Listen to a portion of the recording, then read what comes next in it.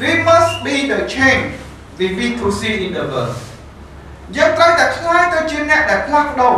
នៅអ្វីដែលយើងចង់ឃើញពិភពលោកយើងមានការផ្លាស់ប្ដូរវិញចឹងបេសកកម្មជីវិតរបស់គាត់គាត់ចង់ផ្លាស់ប្ដូរពិភពលោកនេះឲ្យទៅអ្វីដែលគាត់ចង់ឃើញគាត់មិនមែនចង់ឲ្យពិភពលោកនឹងបដូរតាមចិត្តដល់អ្វីដែលគាត់មិនចង់ឃើញទេ